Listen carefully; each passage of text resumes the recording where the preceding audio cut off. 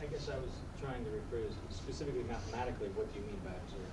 In your, in, are you saying that your axioms are encoding this observation, or is there an operator observation, an observation operator, kind of like you have in quantum physics when you take a measurement? Um, Is there something in the mathematics that- that's encoding that, or?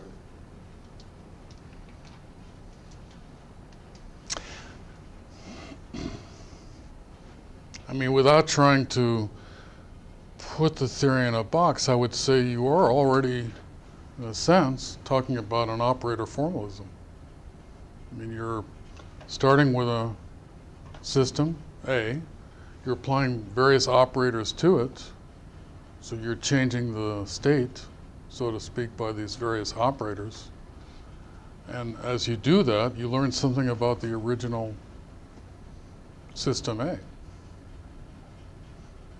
So, I mean, th- this is, uh, I, I think this picture kind of speaks for itself. I mean, if you think about objectification as a process, then by, by appending to A all of these points of observation, you're objectifying A through a sequence of operators. Now, these are not quantum mechanical operators. I, I don't mean to suggest any deep connection with quantum theory because you notice in particular that this universe of sets is, is not a complex Hilbert space. So. but th- those of you who know me well know that I haven't been in complex Hilbert space for a very long time. So I'm, I'm, I'm in a different universe of objects. There isn't even a linear structure. You, you could, at, at best, you can talk about a Boolean structure. And I used that from time to time in the, in the lecture. I talked about uh, unions and intersections of sets.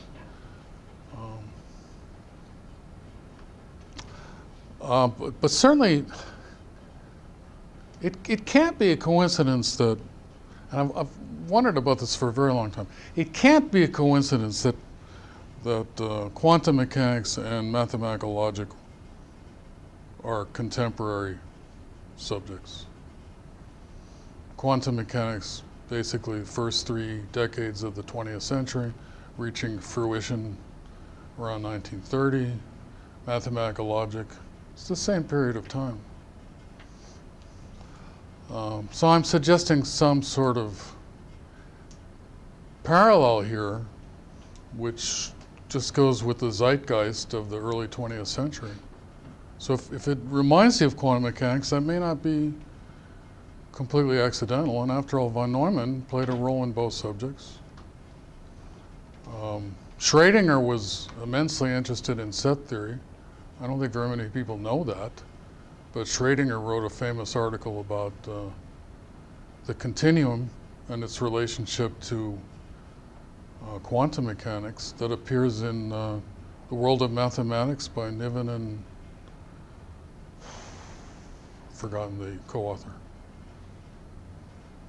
So, you know, the, the concept of, of observation certainly shows up in both worlds.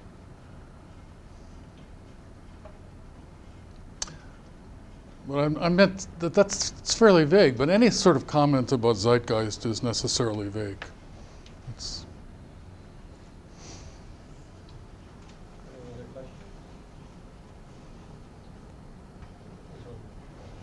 yes. Uh, there's a variant of Russell's paradox that I've never actually understood how to uh, kind of resolve, and I'm hoping maybe you. Uh, so the, the variant goes: you said that an adjective is autological if it describes itself. Uh, so like uh, polysyllabic is a polysyllabic word. Yeah. It's an English word. Yeah. So the question is, uh, and you say non-autological it doesn't describe itself like vowelless. Yeah. So he's non-autological, non-autological. Uh, that's the paradox. I've never, I've never known how to figure that out. Yeah. So, so that, that turns out to be a much more general theory of paradox than I've indicated.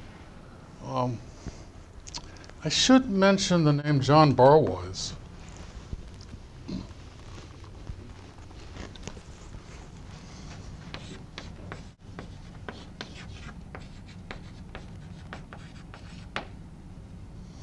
Uh, so he's written various books. I think one of them is called The Liar Paradox.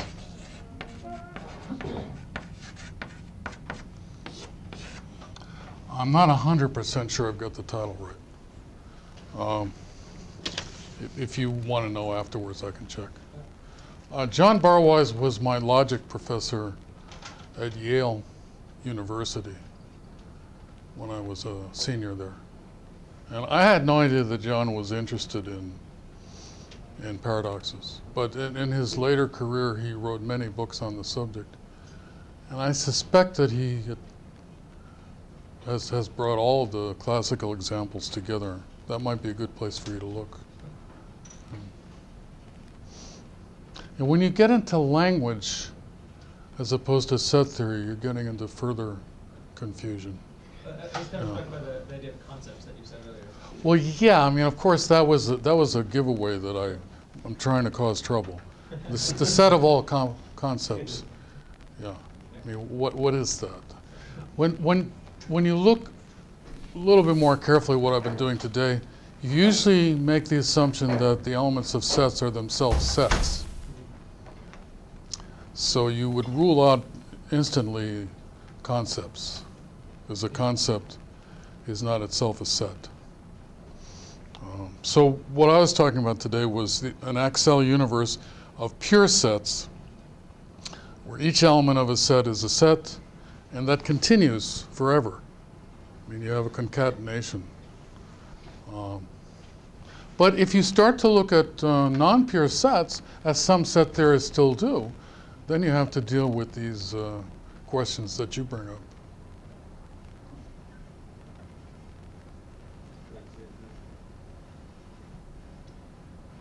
there any other questions?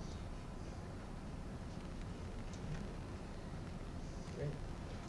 Oh, well, thanks very much.